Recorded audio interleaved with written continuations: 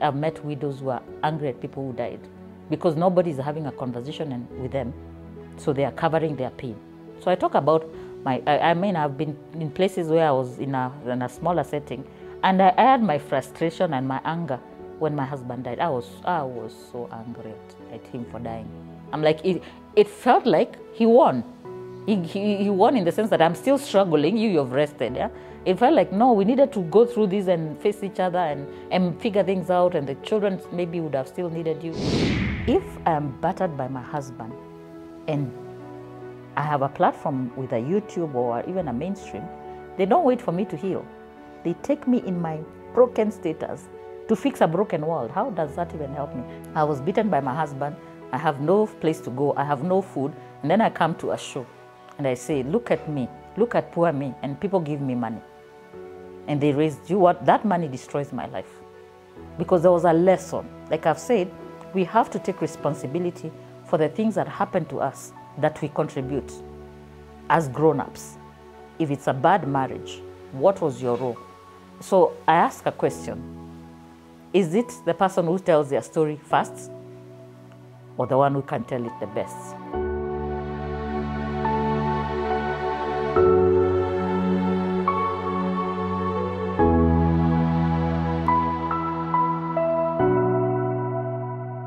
So my name is Redempter Mwikali and I am a proud storyteller.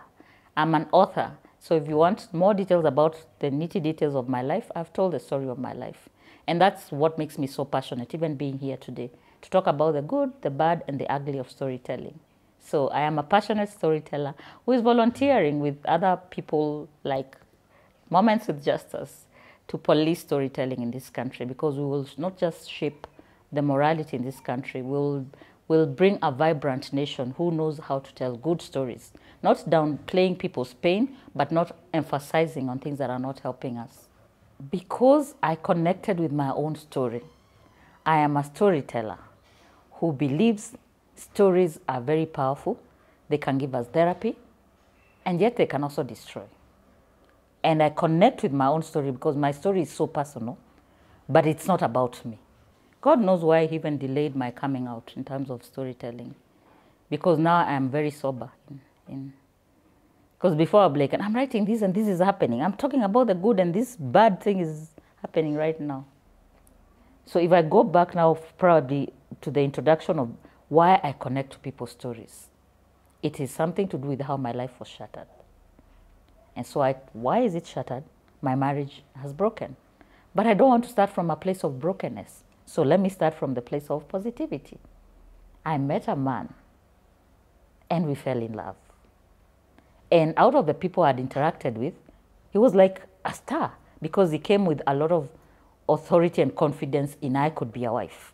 So I met this man who we, we are working in the AIDS control program. And so we are alive to the fact that people are dying. But people still have to fall in love and date. And we go on a road trip to Kisii, and it's World AIDS Day. So ironically, it's World AIDS Day, World AIDS Day when AIDS is a killer, and we are going out and people are still saying, I'll go out with this person, I'll do this. So I get wind that there's this new guy in town, and he's going to ask me out. And so it becomes like the, the, the, the relationship in the workplace that who is going to, and I even get an older woman to warn me. She said, please watch out. You're a very young woman, and you're going to get misused on a road trip, and you'll be the talk of of, of uh, the office on Monday.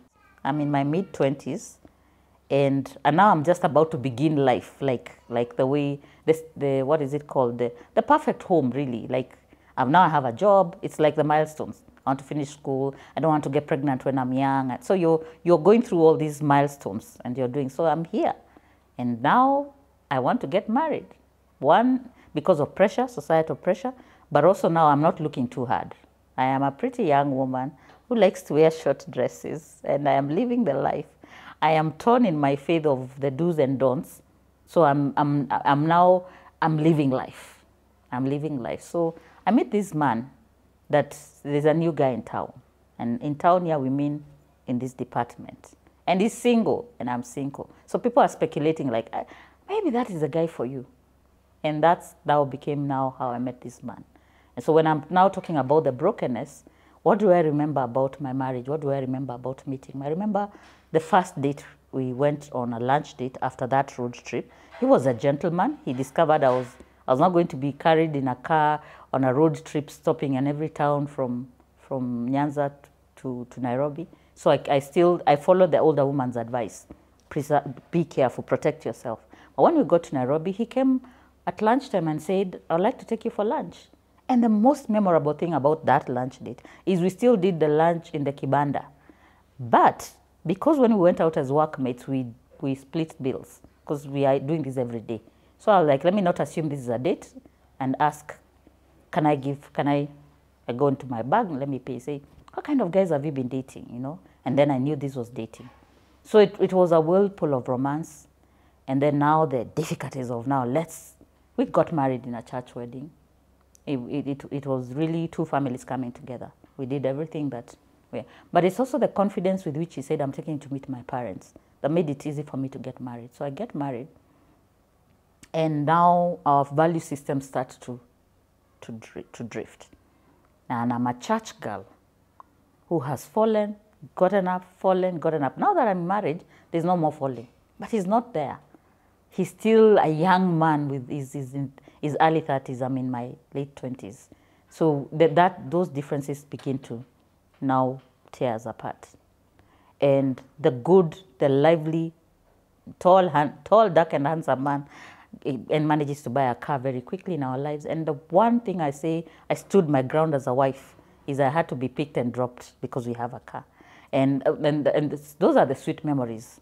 And uh, the other day, I went to Afya House for the first time, and it was like, this is where it all began. I, we were civil servants. And I go to Afya House because now I tell bigger stories. It's not just about me. So I'm pursuing this story about a man seeking for justice, and there are journalists at Afya House because they're giving briefings about COVID. And I have to walk through the gates of Afya House again. But very, very, a very beautiful scenery in front of Afia House is what overlooks the park, you, the view of Nairobi. That used to be the parking. That's pickup point for wives. Wives used to be picked from there. And these are lucky wives whose husbands had cars. So I was in that chosen few. And you'd find them reading novels, you know, and knitting. But me, I was not that boring, mama. Me, I was a young hippie girl. So for me, it was he would walk to where I worked. In he was to that extent, he was a gentleman. He'd walk and say, "Weeks," you know, he'll call me, "Weeks, let's go home." And that allowed me because I'm, I'm more more nocturnal, so I I work better in the evenings. So I know he's coming from a different place. He's going to drive and park. So all that time, but I mean, and the other, and I, I would look at other people's husband, those pick up, and they're a lot like they're so serious. But as, as we're just young people who have a car, we, we are one of the lucky people. So I, I like to give that as a background of this is the marriage I got into and the conflict that they come to. Why storytelling and why connecting with other people's story? Because at my lowest moment, from the unlikeliest point, people that I would not expect to connect to my story saved me. And I've, I've seen in this show where I'm a guest, and I really I am appreciative of what this show is doing, giving people a platform to, to, to reach out. And I've seen one of the stories I saw that I connected with was a mother crying for custody of her children. And it takes me to now connecting with stories. Fast forward years later, I meet a woman who is a foreigner living in Kenya and her marriage has fallen asunder. And she ends up going to jail for disobeying a court order to produce children in court. And it took me to the year 1999 when things fell apart for me. And I was exact in the exact same position. That okay, this fun-loving guy is no longer fun-loving guy. He's just now a difficult guy. I need some peace. And I don't know about other cultures, but in, in, in Kamba, running away from marriage is expected because they have a name for it. It's said it, it's called wendo. And ironically, Kiswahili wendo means love. But wendo in Kikamba is when you get tired, you go. Wa- Ni kama in Kiswahili, it's also mwendo. So it's, it's something women go and come back. I, in Taitas, I hear when um, um, a new couple has a child, sometimes they take the wife back to the mother to nurse them back to. So for me, it was like, okay, maybe now it's time to go for Wendo. That's what I thought. I didn't think this was it. Didn't think things were going to fall apart. And on the day I was supposed, I was supposed to leave, I called for reinforcement. I was like, my husband will come from his, his, his party life. He was a really a party guy. And uh, I will, he will come, and then in the morning we'll slip away. And we'll just go on my wendo with my children. So everything now became like anybody who's ever been in a, in a custody separation nightmare, that was it. And so on this day, I was lucky to be connected to a church. I had a family that, because I'm not from Nairobi, so my family in Nairobi is very small. So I called, I had a landline, there were no mobile phones, and I called the pastor. And I, I used to go to a Baptist church in Langata where I lived. And I got, I called the pastor and said, things are falling apart because of that relationship of when churches used to do home visits. So my pastor, uh, Reverend George Situma, and there was a missionary pastor in that church, showed up. And they came for, to tackle the crisis. So see how stories connect us. We have two pastors, and my husband has rushed to the police station to report me that I'm planning to steal, and so they come to reinforce the law. But he has the upper hand so the, the police have been told a, a, story of a woman who wants to steal and go. So we have two policemen, we have two pastors. So everything should go right, right? Wrong. it doesn't go that way. So we have two pastors, and I have my relative who's come to help me through this. And I'm traumatized because I'm also going through abuse. There's, there's, there's alcohol involved, so there's abuse. So I'm traumatized. And my, I'm trying like a mama hen to protect my children from everything that is happening around us we lived in a what they call a cul-de-sac. You know, there's no exit once you drive into that court with many houses. And we were we were privileged, pretty privileged, because we had that garbage collection day. So it was a garbage collection day. So we have two policemen, two pastors, uh, maybe two neighbors. There's about eight of us, adults. And then we have these two children who are in the center of, of this ugly fight. And I'm, I can't talk because I think I've done the talking. And I got to a place now in, in my relationship, I became passive aggressive. It didn't mean I was the better, uh, whatever, I was just passive aggressive because I've tried everything, it's not working, I've played I've, so I'm just passive aggressive. So it catches me that even when I'm trying blind to, to flee and just go on wendo and get, it's, it's still getting ugly. And now look at all this, it's a sin. Yeah, so uh, as we are doing all this, the children start crying because my family is saying, she won't talk. She's traumatized because of what she's going through. So everyone is everyone is trying to play their part, and all of us, all these adults, cannot figure this out. I just want my children. So the police said, "Here's what we are going to do. We are going to allow you to leave. You're only allowed to take a suitcase. As for the children, that's not our department. Children are given by the children's court. Now the pastors, the pastors just there to for spiritual. There's nothing they can do. It's the same. The police when the police is there and it, this is a law and order scenario. So now I'm like, ah, then I can't leave. So it's it's now I'm even more confused. Then if I'm not going, what do I need a suitcase for? I don't need a suitcase. I want my children. I want to protect my children. And so he's saying, you're not leaving the children. And he really did love the children. He's saying, You're not leaving the children. Like, how do I? I know you're having relationships. Why do I want to give you? You know, it's, it. So the older one starts crying, and automatically, it's the tension, the atmosphere is conflict. So the children start crying. And now the connection of stories. I think I'd seen it at the corner of my eye, those two boys. I'd seen them, and it was like, you know, you feel sorry that every Wednesday or whatever day of the week it was, these boys come and go through our garbage bags. And so they are there. And who would have known? Those were the angels who now share their story. They didn't, they didn't do it in a very nice way. They connected their story to my story.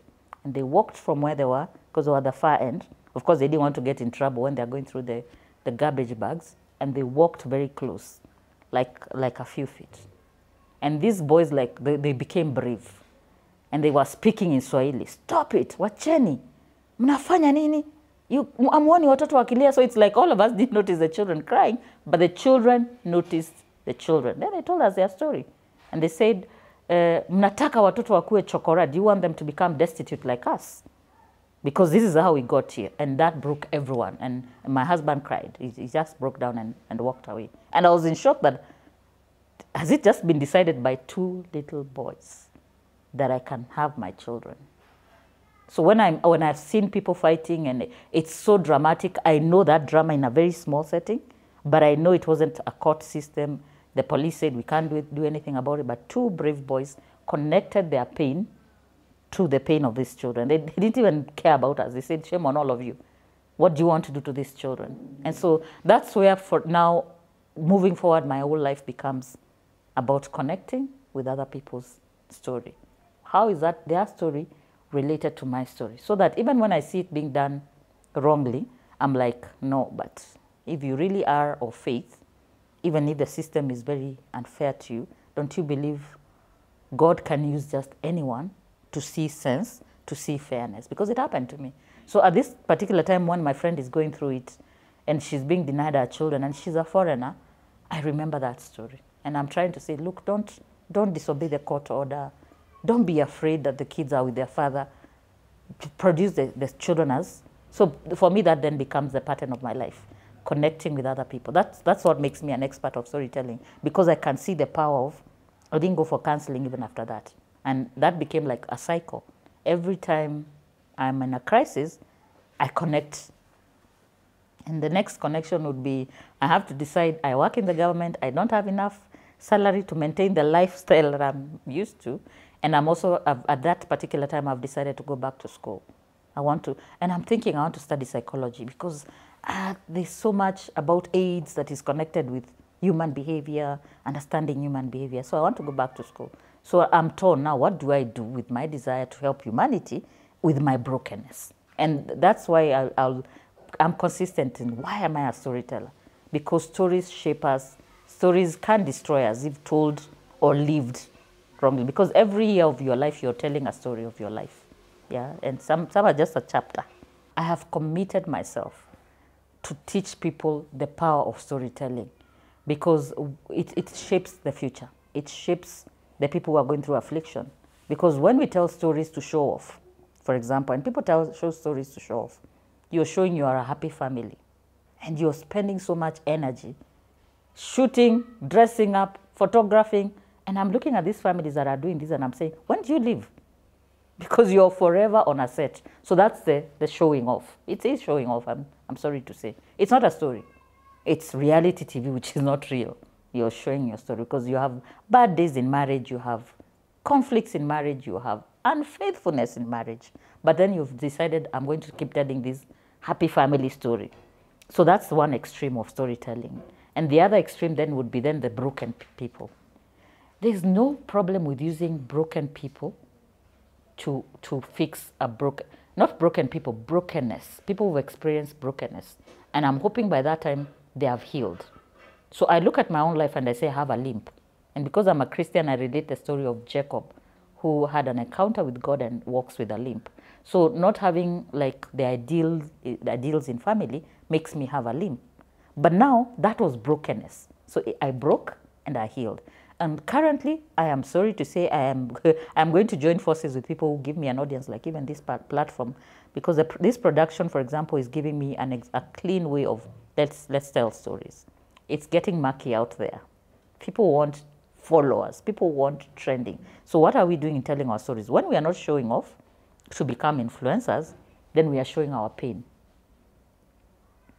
I want this generation. I want I want moments with Justus, for example, and, and Redempter, I want to bring the wisdom of my, my, my experiences and the generation is living in. And let's have a melting pot where we tell stories pro prosperity, where we, the moral, moral decay is not because of the stories we are telling. And uh, there's, there's, um, there's someone who said it in, in the fashion industry, they wish all people who had taste had money and all people who had money had taste. In the storytelling context, I wish all the people who had platforms had decent content. And all the people who have decent content had platforms. Because the people who have the platforms, what are they doing with it? There's a terminology in storytelling, and as, unfortunately, as a storyteller, com, com, compassion about storytelling, I'm looking at how stories of, uh, of pain and, and uh, stories of wellness were told. So wellness stories now are just about materialism. The stories that are making headlines are, look at how beautiful we are, Look at how beautiful our children are. But we live in a broken world. You, we live in a world where adversity has been guaranteed to us. that in, in this life you'll have trouble. So, what do you do with people who cannot show off and yet they are great families? So, I am, my heart aches that there was a terminology coined by when we became aware, when Africans became aware, hey, our stories are being misused. When the NGO world came and they started showing pictures of, of poor children, dirty children, malnourished children, and fundraise for us. And someone coined up a terminology called poverty porn.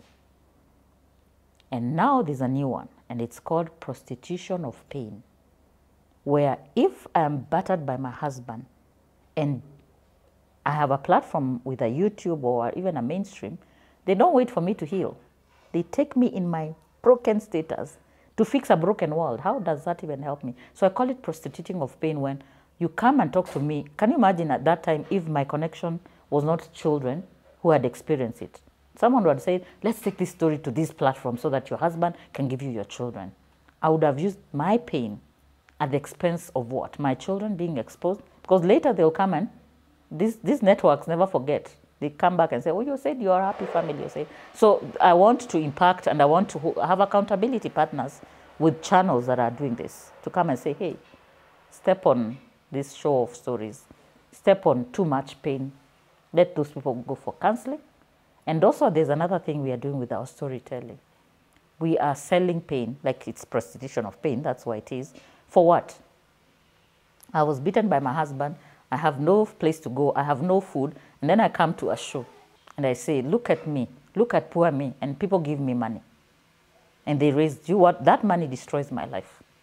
Because there was a lesson. Like I've said, we have to take responsibility for the things that happen to us that we contribute as grown-ups. If it's a bad marriage, what was your role? So I ask a question. Is it the person who tells their story first or the one who can tell it the best? So, in stories of, of conflicts, in stories of lack, is this a generation that we just think about material things?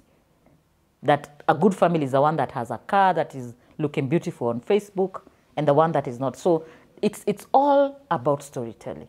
I want to hold every storyteller and every story gatherer accountable for knowing when not to tell a story a story is told, we are living a story. Walking, breathing, I walk to the matatu, I got in a matatu, is a daily journey of stories. But are these stories worth being shared at the time? There are stories that belong to a counseling session. There are stories that belong to a confession. That I used to do all these bad things, now I've stopped. That's not a story. Because how sure are we you have stopped? Yeah, so I, am I'm just seeing the trends because we are advertising evil. And that's the, the how our stories now are uh, shaping our lives. And then another story that I am also uh, holding people accountable for is telling stories of prosperity. There's, I don't know if there's any philosophical or, or way of living people embrace that does not have trouble. So then when we rush on only tell the troubled stories, like in my own story, I could rush here and tell you about how bad my marriage was. But how many women were married who had husbands who dropped, dropped them and and my husband was a good provider. So do I come and say, oh, now he's taken everything I want? I, I did, I do, do. I was in feeder. I, I looked for the platforms where I would get help. I ended up in a shelter for battered women because I just needed peace. So can you imagine if it is the day, the present day, where now we first tell your story, then we find you help. Let's find you help and figure, have you figured it out? And when I tell the story and someone is listening to my story, what is the moral of my story? We are so self-absorbed. Stories are supposed to connect us with one another. But now our stories are me, myself, and I. Yeah? And, and that's why for me, I tell you, my first story is I went through adversity. And it was street children, destitute children, who saved me at that particular time. And so moving forward, I had to tell every story about me that is painful, let me look around. Because those boys looked around. They, they, they, were, look, they were going through their garbage for maybe the daily bread or to look for what they can go and sell to eat for the week. And me, I'm here, luxury. It is luxury. I just want my comfort. I want this to end, but to end amicably. So that is why I'm saying the people who are gathering stories, who are telling stories, are we also telling one-sided stories? Story gatherers are becoming very lazy. That I walk up to someone who has a platform and say, I have a story, I'm an author. And I want to teach other people. As, so they're, they're lazy in that the person who shows up at their set with a story is the one they, they take. There is no background check. There is no due diligence of what is the, this person's life about.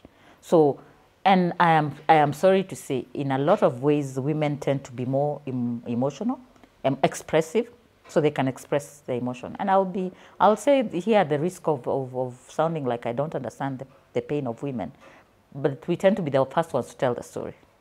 And so a man will be like, ah, my dignity, my pride. The story has been told. And we also tend to be the ones who scream the loudest. So it's, it's the people who are telling stories of conflicts. Are there untold stories that we are ignoring because they are not going to get ratings? Stories of overcoming. I'm an overcomer. And I want to teach anybody who is mandated telling stories, editing stories, because there's a lot of creativity in telling stories. You get two people who are in a marriage tell their story, and the better storyteller, people believe them. And then we have the people with authority to tell a story. I want to share another story eh, that, that shows you how we are a chapa copy. Chapa copy for the younger people is these shops in town, business centers where people produce a lot of copies. So it's, it's going like this. So we are now a generation where we tell stories like they have no depth, they have no moral. What is the moral of a story? Because why I'm saying stories is once upon a time, and it always has a beginning, it has a middle where the lessons is, and it has an end. So because of our chapter story, our, our sto stories tend to either have the beginning and an end, where the end is give me what I want. I want justice, I want money to start over, I want, so what the middle part is the, sto the, the stories. So for me, I'll tell you this, in the last 20 years, because I've done this now for 20 years, for me to come competently say, I am a storyteller. I tell my own stories, and I'm done with my stories. I want to teach other people how stories can help, because I tell my stories in very small circles. I've done prison ministry, and I've connected my story of what happened to me to their stories of they, they were so angry they were angry because for them it's survival. How can I let another woman take my this? But I knew, I, maybe the way I was raised, I knew you can always start over. Money is not everything. These things, and I, I didn't grow up in luck. So when I finally had a house with my own mind, my own things, out of the things I had, actually, my parents had given me a bed and a mattress to start life. And when I was losing everything, I was telling my, um, my we, we were negotiating. We were, it was not that bad. We because there was no people to to make it worse for us by telling the story, blowing it up. We had moments of, can we talk about this? What's going to happen? So we have a situation where it's who tells the story, whose story is more sensational. Yeah, that, that, that so justice then our, our ability to shape and reconcile people is taken away. I follow stories for many, many years before I tell them. I have followed stories that I didn't tell because they were not worth telling or they had not resolved themselves. I have people who look at me and think that they think I want to tell their story. I'm like, I'm not even interested in your story. You sort yourself out. When you sort yourself out, but then there's also stories about justice. So I want to address the stories of justice because that's where the, my next chapter in storytelling is going. It's going to be talking about who are we as, as a country, as a continent, who are we as a community. So in telling those stories, I'll give you an example of a, a scenario where I connected with someone's story. I am watching news and then I see on news, and there's a man who is not from Kenya who has burnt a, a girl. And she's fighting for her life in Kenyatta Hospital. And I'm like, hmm, I wonder what happened here. And again, because I believe in divine connection, I don't believe in, in, coincidence. A lot of the stories that I follow, I have watched them on TV sometimes, or I've, I've encountered people looking who need help. And so I call, two minutes later, someone calls me. Redempter, did you watch news? I say, yeah. Did you see the guy who is just accused of? Yes. He's actually in our college. So this was a guy who was studying to become a priest. So now the story just got more interesting. Why is a priest accused of trying to kill a, a girl? And now, now that they are foreigner, they are a girl. So I tell this story to talk, show that sometimes we, we show biases because we take aside immediately we hear a story. And I left my comfort zone and I went to Rongai. Actually agreed with one person. Do you know him personally? No. Let's just go. And we showed up at the police station and then we had each side of the story. And they said, does anybody else know this story? He said, yes, I'm living here now since left this, the priest journey, vocation journey, and he was now just a, a normal citizen, foreigner. And so she said, there's this girl that I live with, go and see her. And I followed that story for six months. Six months, I would ask my. In fact, one time I I went to the police station and he, he, he talked about me as if I was not in the room. Said, "Who is Redempter?" And I went home and I said, "Who is Redempter? You know, why do I care about this foreigner who could?" And sadly, the girl died. And when the girl died, now it became a game changer. You will not believe this girl, even in her death. When she was told to write, because she couldn't talk, she had, I don't know what percentage of burns. When she was told to write who, who did this to her, she wrote the guy's name.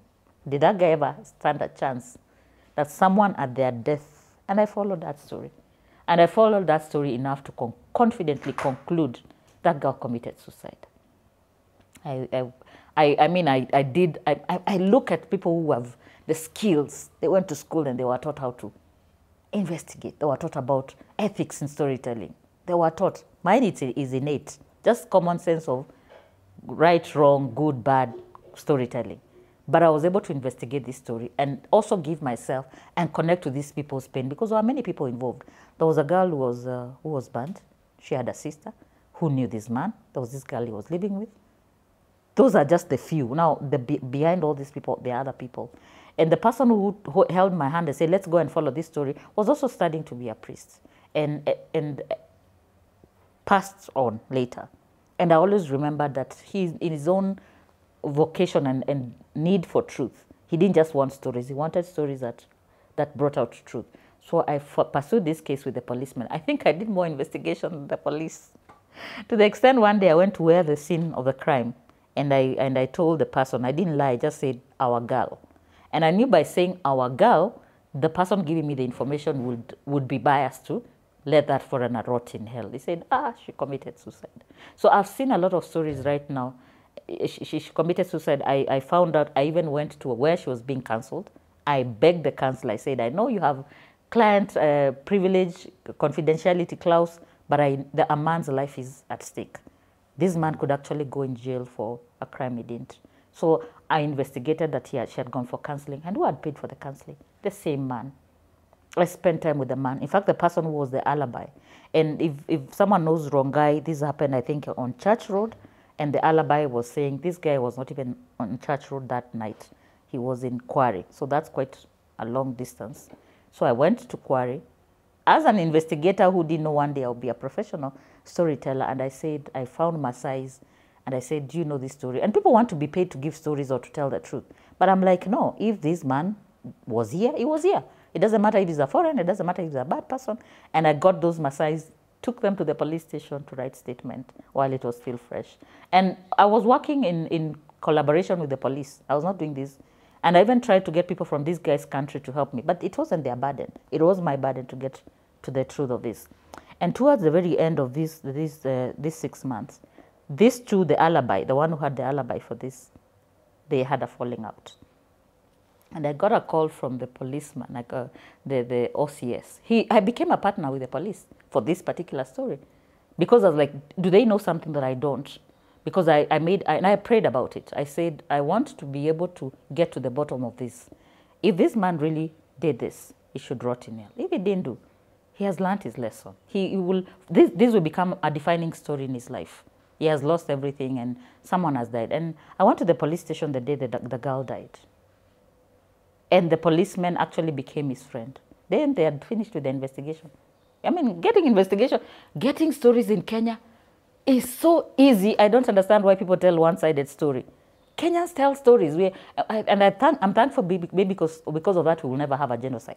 You will be planning to kill another community and the people will just go and start gumzo mtaani. And so I was able to gather a story. So when I see people who have the privilege, the, the resources to do a good story and they do a shoddy job, they, they miscarry justice. Years later, I, I, I, was going through a newspaper and I saw an article and the judge was blaming the police for a shoddy job. I'm like, shoddy job? Do you know how many hours we investigated this story? There was no shoddy job. The girl, unfortunately, committed suicide. And because she was involved with him, it was really a murky story. It was just love gone bad. It was just uh, the desperation we have for relationship, the fixation we have with foreigners. That was the story. And the, and the person who passed on, when, when we sat down to analyze, he said, Redempter, are you sure you want to continue doing this? I have done that with several other stories.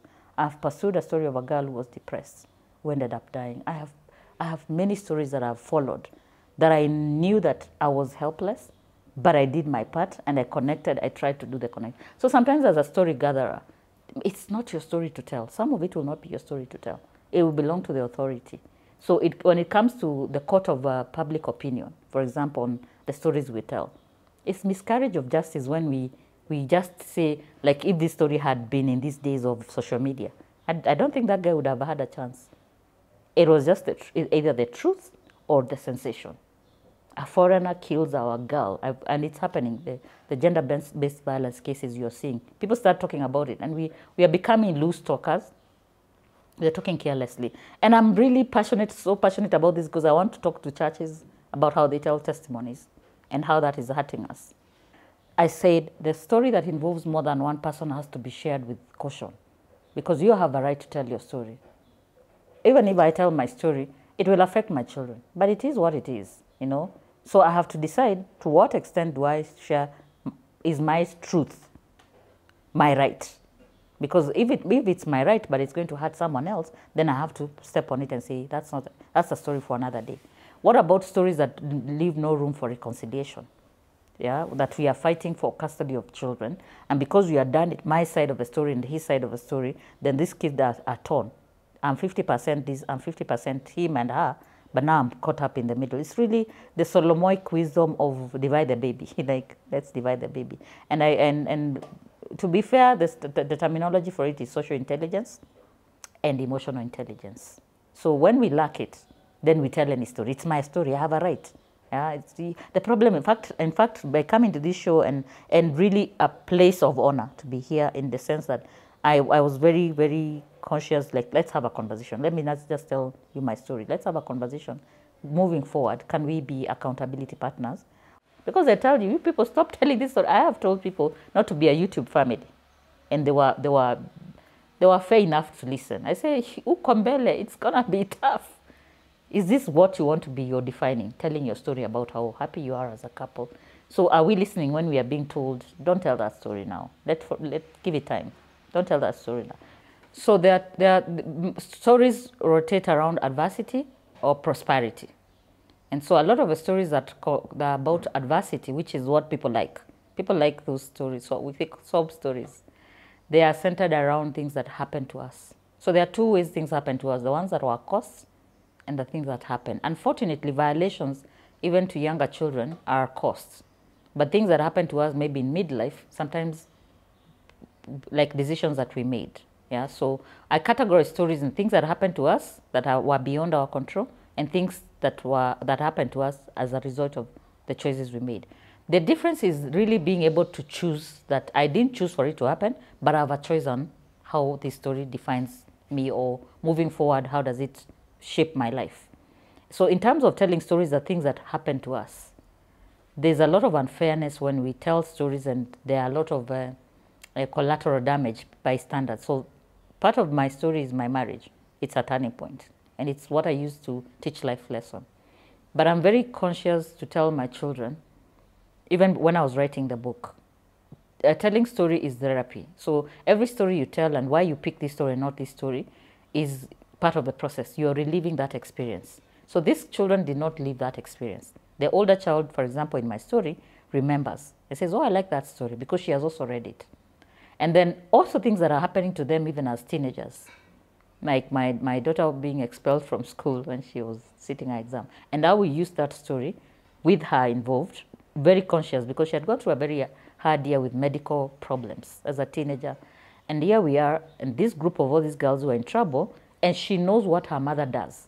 So she's like, oh, tell my story. I don't, I don't mind if it's going to help the other person. So we found that group of girls who were having problems. It was about having phones in school and reacting to the authorities. And out of that time, there were girls who were suicidal. So can you imagine, were able to use my, I could have looked at that story and said, my daughter is defiant. But I knew what that girl had gone through. And I knew she missed her father. And all along, all through life, you always think, what if my father was around? So because uh, later on my, my, my husband passed, then I'm very, very cognizant of the fact that for, for me it is a memory and for them it's wish, wish, wishing. I wish this was the case. So as I tell stories, I negotiate with them. And negotiating and talking about it, I also want to gauge where they're at with that story. And so, sometimes things come out of it that I'm like, hmm, this is a pain point. You know, it's still a struggle for them. So sometimes we, it's not, we don't care. We tell stories and we don't care about, we make comments about stories that are trending because some of us influence conversations.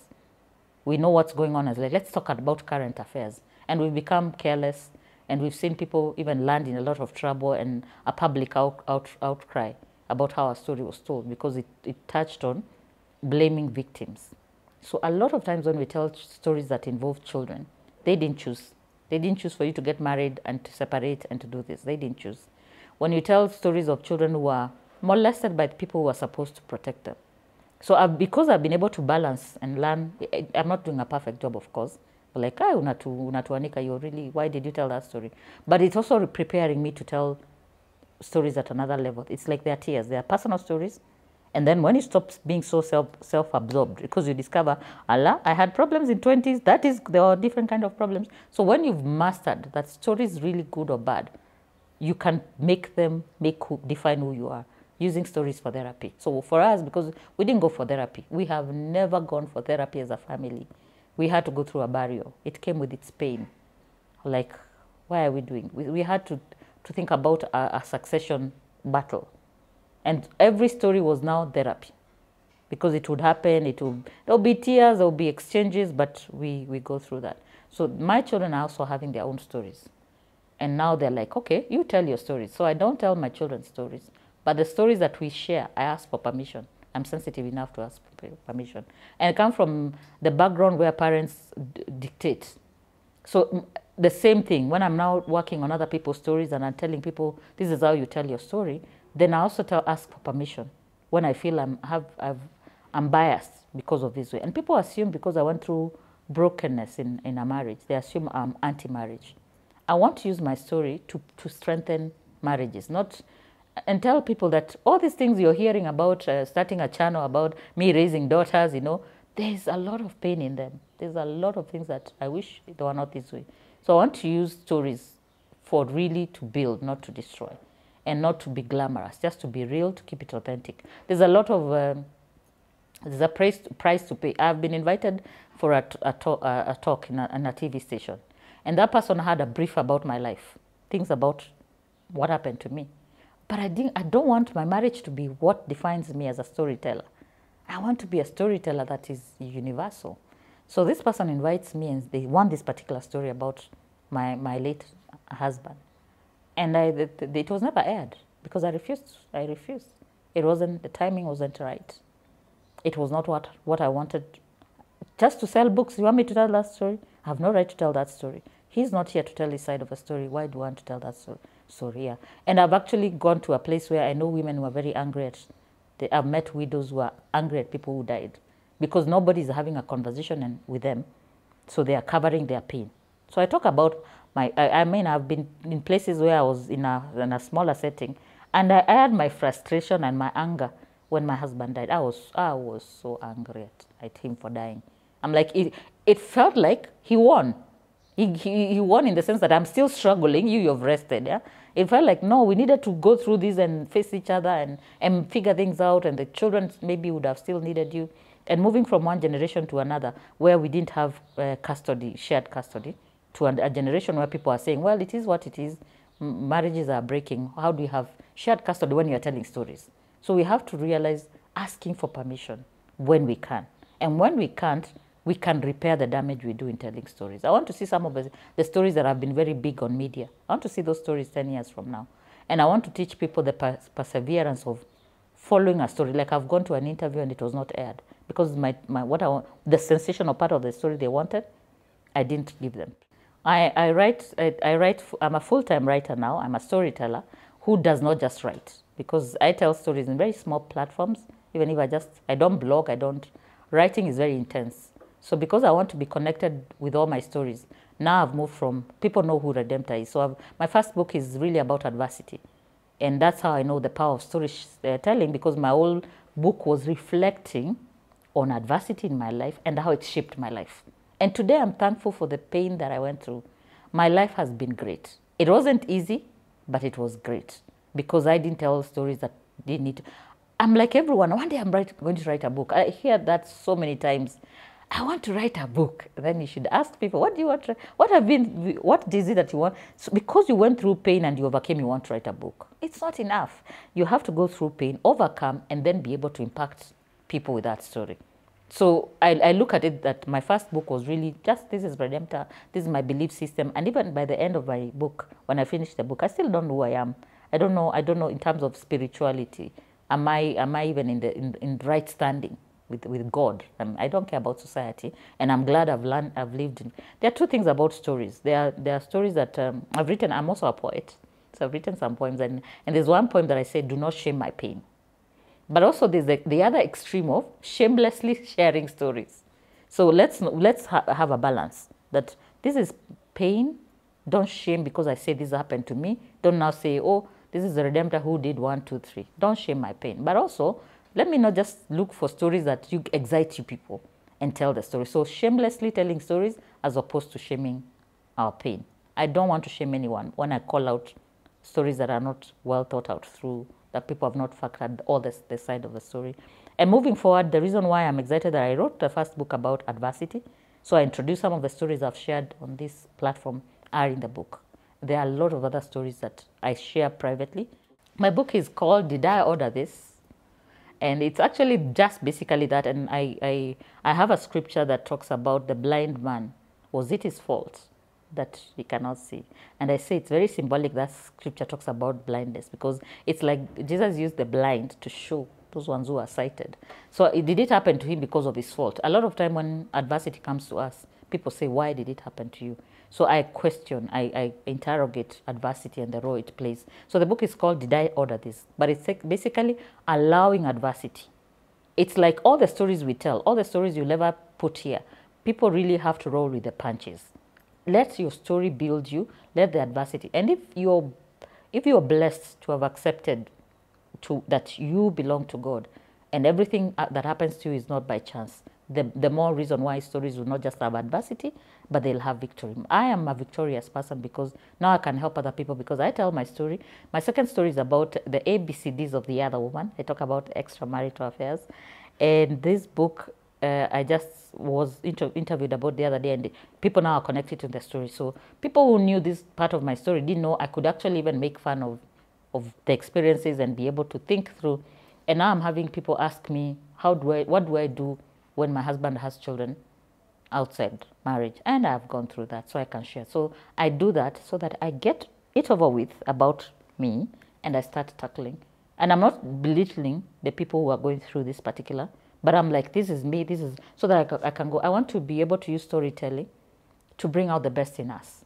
Because, like I've said, we've been exploited and then now we're exploiting each other. And, and lastly, because a lot of people want to tell stories, one, that one thing that happened to them. It doesn't have to be something bad. Let that something that happened to you that is, a, is tragic also be that one thing that made you a great human being.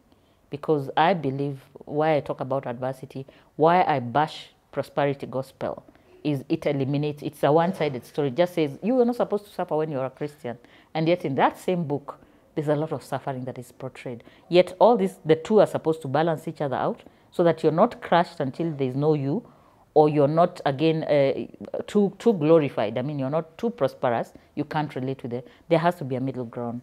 My story is that I started life in Kibera, and I ended up living in Karen, and I would want to maybe make that my my my story. Look, I started here and ended up here, but both places had benefit to me. In today, when I'm able to serve humanity, that I can go back to Kibera and I'm like, I know the struggles of of the people in Kibera, and I can go uh, to the people, the affluent who live in the in the Karens and the Muthaigas, I say, I know the misery of this place too. And so what, how do you come and respect each other as human beings and build each other up without looking down on each other? So moving forward, I want to tell stories about uh, the, the society. I want to go universal, but I'm not so keen on what's happening in India. Um, I love Africa. I love being an African. I love how stories are powerful. And I want us to, to rewrite some of the stories that have been told about us and now have a generation where like it's good to be dark skinned And that's become, because we are still there. We're still having people who come on set, they are gospel musicians and they are dark. And the next time they come, they uh, look like, because those are stories. That's a story that needs to, so I want to look at bigger issues in telling stories. Can I just do a whole story about people who bleached, bleached themselves and what that was coming from and how that has affected them? And look at it as a societal problem and tell a story. But it, you can just tell a story of one woman but it, it will have a message to so many. And not those fleeting stories that we have very, really like even a feature. Let's do a feature about what are our issues and then what are our joys. And I want to tell people that even in those bad situations, God is good. Yeah, we've, we've had uh, a song that says God is good all the time. So I've written a poem that is called Good God in Bad. Can good and God be uttered on the same breath while in a bad place? Can good and God be a whispered prayer. Easy to utter, God is good, through tears of joy. Easy to mutter, God is good, with feelings of gratitude. Faking it, as you say God is good to get through to his heart, making you feel good for not putting God and bad on the same breath. Can there be good uttered to a silent God? When dreams are shattered, what good is it? To say God is good through tears of pain. Good God through moments of anguish. Good God of hope in hopeless situations. What good is it? Through your tears, oblivious to the fact that your tears also tear at his heart, moving the heart of God with compassion. Your cries so deep you miss out on the gentle voice of the good God saying, I have good plans for you. Feeling so deeply about your unmet needs, failing at seeing his good deeds, past and present. Feeling his good deeds qualifies him as good, failing as seeing God present and good in every bad place. Good and God mattered on the same breath. Good and God whispered in every prayer. Good God in the bad storm and in the good tranquil times, petrified as you fell off the cliff. And what a good feeling when God caught you. The realization that God was in the storm. And had He stopped it, you would never know what a good God is. God who uses the bad to reveal that He is good. Good God in bad.